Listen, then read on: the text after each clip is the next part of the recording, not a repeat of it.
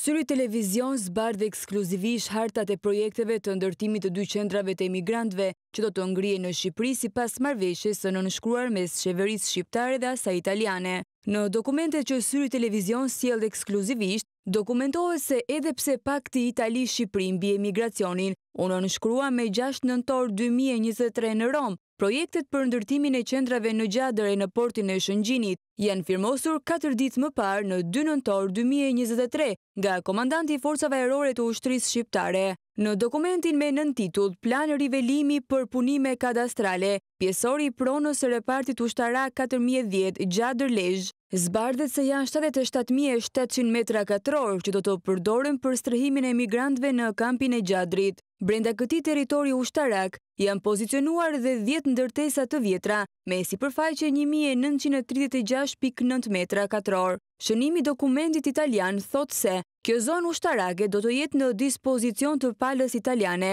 dhe përfshin dhe sipërfaqen e nevojshme për ngritjen e strukturave për pozicionimin e policisë italiane. I gjithë territori i identifikuar në këtë hartë do të përdoret për realizimin e strukturave për identifikimin e emigrantëve që do të kërkojnë të drejtën e njohjes së mbrojtjes ndërkombëtare, si edhe për ata emigrantë në pritje të riatdhesimit pas mospranimit të kërkesave të tyre për azil. Në dokumentin tjetër A që disponon Syri Televizion, zbardhet harta e projektit të ngritjes së qendrës së emigrantëve në portin e Shëngjinit. Në këtë dokument, pala italiane shënon se është Zona e destinuar për realizimin e strukturave për procedurat e hyrjes së emigrantëve në territorin shqiptar. Plan-harta A dokumenton se kampi i hyrjes së emigrantëve në tokën shqiptare është pozicionuar menjëherë sapo mbërrin në portin e Shëngjinit e mjaft pranë rrugës së portit. Në sipërfaqen e këtij kampi janë planifikuar të ngrihen katër blloqe strukturash paralele të ndara në Zona e Kontrollit Policor, Zona e Pritjes, Zona e Kontrollit Mjekësor,